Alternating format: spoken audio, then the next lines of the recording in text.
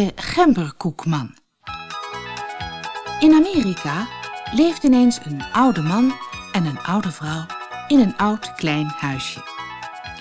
Op een dag maakte de oude vrouw deeg van bloem, boter en gember. Daarna maakte ze van het deeg een poppetje.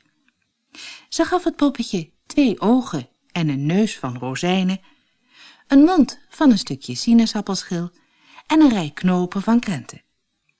Daarna legde ze het poppetje op een bakplaat en schoof die in de oven. Een uur later deed de oude vrouw de oven open om te kijken of het poppetje van gemberkoek al bruin was. Maar tot haar grote verbazing zag ze dat het poppetje van de bakplaat sprong en naar buiten holde.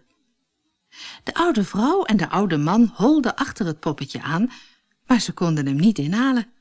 Het poppetje lachte hen uit en riep, ik ben de gemberkoekman, er is niemand die mij pakken kan. En de oude vrouw en de oude man kregen hem ook niet te pakken. Even later holde het poppetje door een weiland waarin een koe stond te grazen.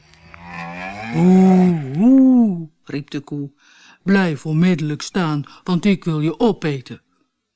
Maar het poppetje moest heel hard lachen en riep, ik ben de gemberkoekman, er is niemand die mij pakken kan. En ook de koe kreeg hem niet te pakken. Het poppetje rende verder door de weilanden. Daar kwam hij een paard tegen. Het paard hinnikte en zei, blijf onmiddellijk staan, want ik wil je opeten. En weer moest het poppetje heel hard lachen en hij riep, ik ben de gemberkoekman, er is niemand die mij pakken kan. En ook het paard kreeg het poppetje niet te pakken. Op het volgende veld waren boeren koren aan het maaien. Plotseling roken ze de heerlijke geur van gemberkoek. Toen ze het poppetje zagen, riepen ze, blijf onmiddellijk staan, want we willen je opeten.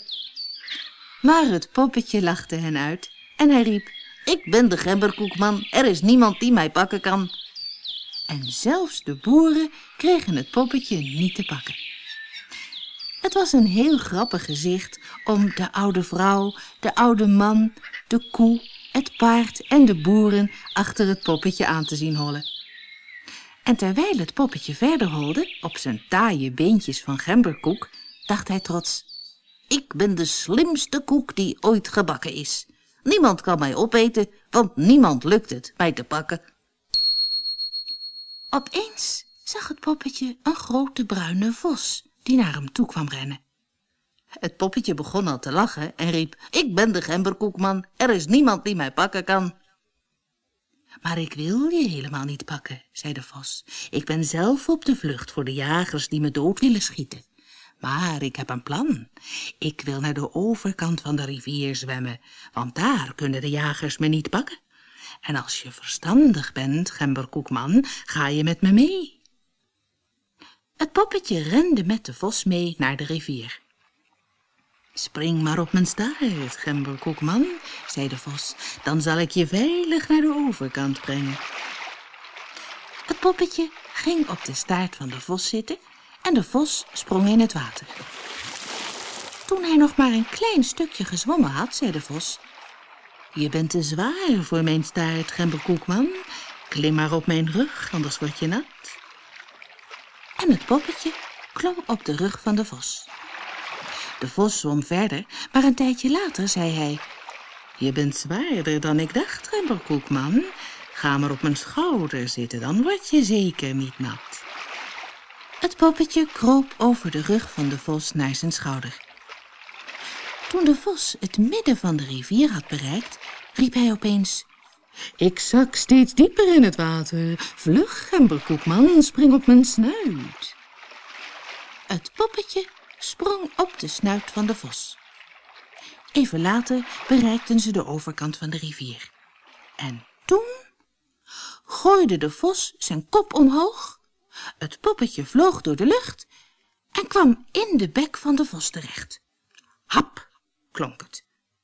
De vos had de beentjes van het poppetje opgegeten. Lieve help, zei de gemberkoekman, je hebt mijn benen opgegeten. Maar de vos nam nog een hap. Oh, nu heb je ook mijn buik opgegeten, riep de gemberkoekman. En weer nam de vos een hap. Hou op, gilde de gemberkoekman, nu heb je ook al mijn armen opgegeten. Maar de vos nam nog één hap en likte tevreden zijn bek af. Dat was een lekkere koek, zei hij. En de gemberkoekman, die kon niets meer zeggen.